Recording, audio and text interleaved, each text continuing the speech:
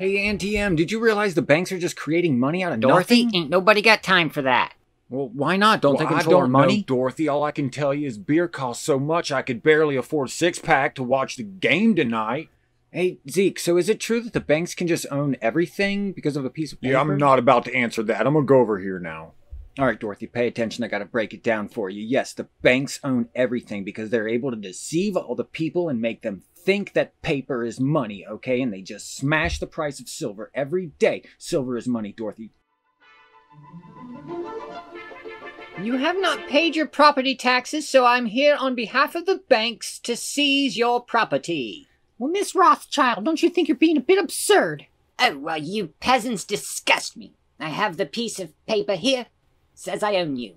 Hmm, well, well, well, take a look, Henry. It looks legit. I don't know. I guess you can't forge something like that. Are you guys kidding me?